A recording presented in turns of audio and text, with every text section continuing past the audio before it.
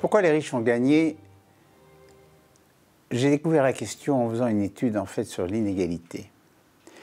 Et je me suis rendu compte que, en fait, la France était un pays où les inégalités étaient moins importantes qu'ailleurs, sauf dans les pays scandinaves, ce que la plupart des Français ignorent, mais qu'en revanche, ce qui était spectaculaire, c'était en France et ailleurs le développement de la richesse, en particulier au cours de la période récente, c'est-à-dire, disons, depuis l'an 2000. La richesse mondiale a augmenté de 70% depuis l'an 2000, et selon les pays, euh, avec des pointes exceptionnelles. En France, de manière modérée, sensible, euh, en moyenne, les salaires euh, et les rémunérations des grands PDG, des vedettes sportives ou de cinéma ont triplé au cours de ce 21e siècle, c'est-à-dire en fait au cours de 12-13 ans. Donc c'est déjà une accélération très forte qui ne s'est pas faite au détriment des pauvres, puisque à l'échelle mondiale, dans la même période, la pauvreté a également reculé. Alors comment expliquer ça? Puisque généralement on se disait si les riches gagnent, les pauvres perdent.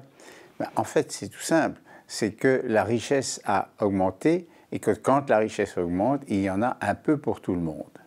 Simplement les riches ont tiré la couverture un peu plus vers eux parce qu'ils en ont les moyens, parce qu'ils savent le faire, non seulement parce que c'est leur métier de gagner de l'argent, sinon ils ne seraient pas riches, mais parce qu'ils sont bien conseillés, parce que fiscalement, ils peuvent faire circuler l'argent autour de la planète. Enfin bref, tout ça, ce sont des sujets qui ne sont pas suffisamment connus, et c'est pour ça que journaliste euh, et, journaliste avec une tradition économique, puisque j'ai fondé et dirigé pendant 25 ans l'expansion, euh, j'ai trouvé que c'était quelque chose qui méritait vraiment euh, d'être vu de près. Et effectivement, les riches ont gagné.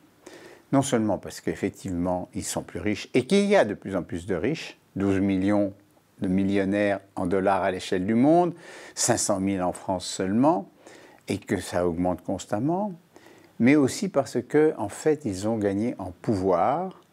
Euh, on ne peut plus se passer d'eux. Vous voyez que les gouvernements, les uns après les autres, sont obligés de faire des pactes avec l'entreprise privée, qui représente au fond la puissance de l'argent, parce que c'est là que se créent les emplois. Tout ça est une évolution économique euh, naturelle dans le système tel, qu'il est devenu, c'est-à-dire un système libéral, un système ouvert, où tous les acteurs économiques sont libres de leur mouvement. Donc, les riches sont maintenant des partenaires. Et en même temps, ils n'ont plus d'adversaires.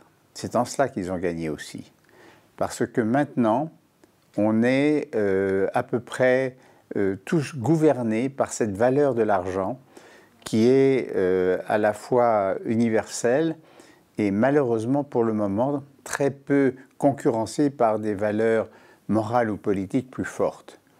Tout ça parce que voilà, avec le communisme, les idéologies ont sombré, parce que l'influence des religions s'est affadie considérablement ce début du XXIe siècle surtout en France, et que donc il reste la valeur argent.